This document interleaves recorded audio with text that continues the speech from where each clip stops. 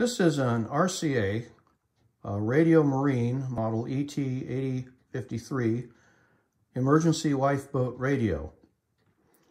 Unlike the uh, emergency radios that would be normally part of the lifeboat's equipment, uh, these were uh, stowed usually in the radio shack or radio room of a ship and would be uh, taken along with the radio operator uh, when if they evacuated the ship um, under a uh, abandoned ship order.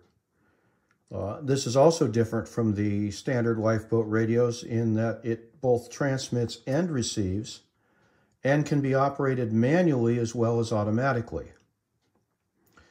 It is uh, pretty much complete. Uh, I even have the tie downs uh, straps to uh, attach it to the lifeboat. Um, it has a hand crank, um, a ground. You can also see there that there is a uh, telegraph key uh, right on the front of it. Um, some interesting stuff on the cover there. Do not throw set into lifeboat. Since this thing weighs between 40 and 50 pounds, and those were wooden lifeboats, that's some pretty good advice. Um, it has an earpiece, or actually a, a, folding headset, headphone, that is uh, contained in that pouch, and then it has the instruction booklet. And on the inside of the um, lid are all the parts and pieces for the uh, antenna assembly. And uh, then there's also the uh, grounding strap right there that's dropped overboard to uh, get a ground. And as you can see, about the first five or so feet of that is, is corroded as well as the weight. That would indicate that this has been used at least once, uh, possibly in a drill, but who knows? I'm really not sure of its provenance. Um, I found it at a uh, uh, uh, Army, Navy, military place out in Boring, Oregon, where there were all kinds of interesting things there, and uh, it kind of caught my eye. It also has the, uh, the factory dummy load, which comes in handy for testing it, uh, which we're going to do later on in this video here. So anyway, these were uh, these were probably standard equipment, I would imagine, on a lot of the ships uh, in the early 50s. And, and I think that these were actually manufactured uh, as late as the early 60s, but I'm not certain. This particular one seems to be from around the Korean War era, um, or maybe just a little bit afterwards.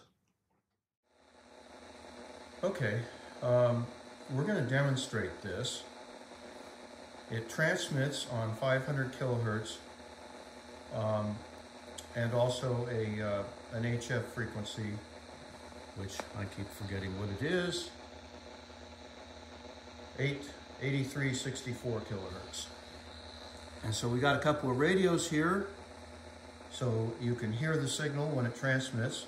I have it set in automatic mode, and so uh, it'll take a few seconds to warm up, and then uh, we're going to hear that sound that every ship's radio operator dreaded to hear. And I got to crank it the other way because I'm behind it here. So here goes.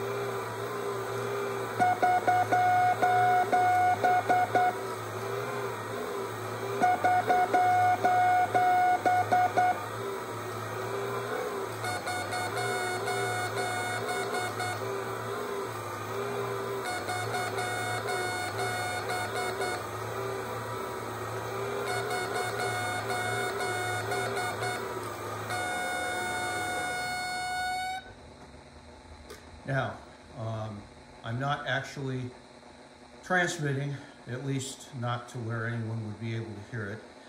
I have the original test load here, and it, that light that you see on there indicates that there is RF current.